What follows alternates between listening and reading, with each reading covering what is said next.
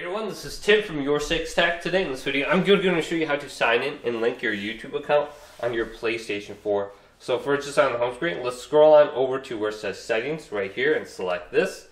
Now, let's go to Account Management, right in the center of the screen. Then we want to go to Linked Services. Select that. And then we can find YouTube under this list. So scroll on down to YouTube, select this. Now you may already have your YouTube account on your PlayStation 4, so you can see my email address is located right here. Now you're going to need to sign in with your email address and password to link your YouTube account. Otherwise, another thing that you could do is go to the YouTube application and then sign in. So let's go to app and then go to YouTube. Then in the upper left side, we can actually sign into the YouTube app.